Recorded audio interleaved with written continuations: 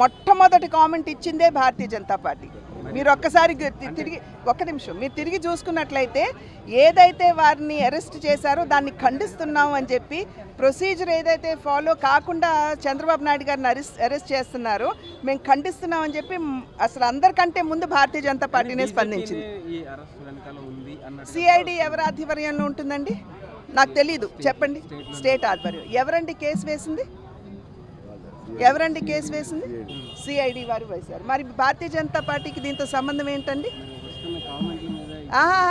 ఏం కామెంట్ వచ్చింది? రాష్ట్ర నాయకత్వం కామెంట్ చేసింది. మీరు చూసినట్లయితే మా కార్యకర్తలందరూ కూడా అదే రకమైనటువంటి కామెంట్ చేశారు. మేము దీన్ని ఖండిస్తున్నామని ప్రతి కార్యకర్త కూడా చెప్పడం జరిగింది. మా స్పోక్స్ పర్సన్స్ అందరూ కూడా అదే ధోరణిలో మాట్లాడారు.